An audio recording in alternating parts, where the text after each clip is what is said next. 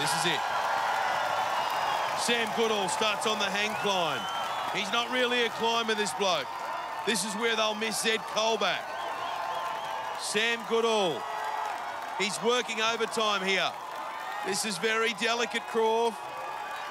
Not sure. Oh, there's a little slip there. Alarm bells ringing for Sam. Olivia's trying to help him through and... Oh, oh! He's done that well. Now he's really got to get the Lachey over. He's done it. So they're one from one, WA. Sam Goodall now hands over to Olivia Vivian. She's got the body prop. Okay, now you don't want to rush the body prop. 1.7 metres the gap between the sides, and this starts to burn the whole body very quickly. That's really good, Liv. Keep it up. You got this uphill battle. This is where it really starts to sting. Driving hard, small steps. Got to keep that body balanced.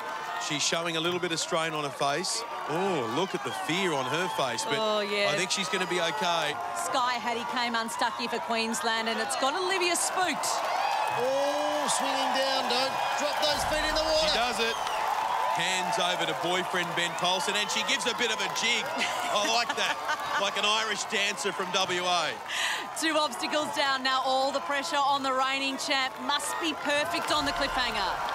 Got to realise he's a big man. To be able to lock those fingers in like that, that is nothing but impressive.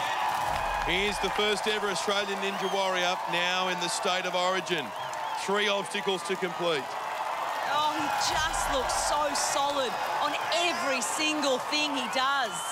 And there we have it. They've equalled Queensland. He's got all the time in the world now. He's got the floating doors next, arguably the most challenging obstacle on the Ninja Warrior course.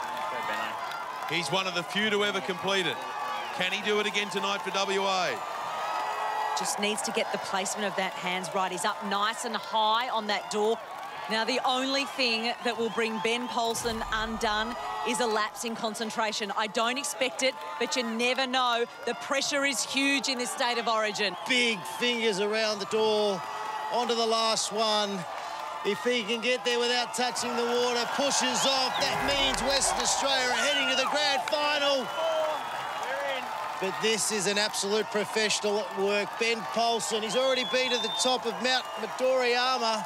Now he wants to take his state to the top. And look, Ben really studies the game and studies the guide. He'll know already. He doesn't even need to complete this, but he'll do it anyway. Wow, they can taste it, can't they, WA? They can taste it. Up he goes. Yes, Ben Polson bringing it home like the champion he is. That is just beautiful to watch.